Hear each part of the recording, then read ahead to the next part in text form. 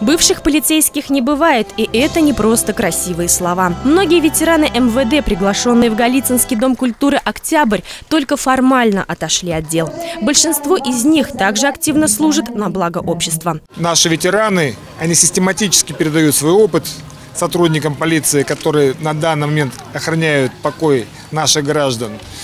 И не только передают этот опыт, но и сами участвуют, в том числе в раскрытии преступлений, такие факты у нас уже были, э, занимаются патриотическим воспитанием.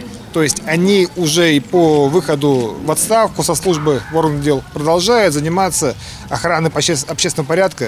Ветераны МВД – это и пенсионеры, и участники Великой Отечественной войны, и те, кто был в Афганистане и на Северном Кавказе. В нашем Одинцовском УВД Э, наши ребята, в общем, более 60 человек тоже принимали участие э, в горячих точках, то есть э, принимали участие в боевых действиях.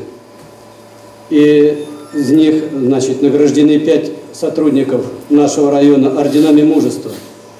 К сожалению, трое из них посмертно. Благодарственные письма и нагрудные знаки в профессиональный праздник на сцену ДК «Октябрь» пригласили многих. Но это лишь видимая часть работы с ветеранами, которая проводится не только по поводу. Мы э, постоянно помогаем, взаимодействуем, проводим э, встречи с молодежью, со школьниками. Большая часть ветеранов, она уже, э, эти ветераны находятся дома, и они нуждаются в заботе. Я могу вот назвать Байдакова Павла Герасимовича, начальник пожарной охраны был Воденцова, участник Великой Великой Отечественной войны, э, участник освобождения Беларуси, он тоже нуждается. И таких можно перечислить много. И вот наша задача, конечно же, прийти сегодня к ветеранам и навести, независимо от праздника, а в зависимости от того, что в душе и в сердце. И это наш долг молодого поколения. В завершении официальной части Дня ветеранов МВД возложение цветов к памятнику землякам, погибшим в годы Великой Отечественной войны, среди которых были и служители закона.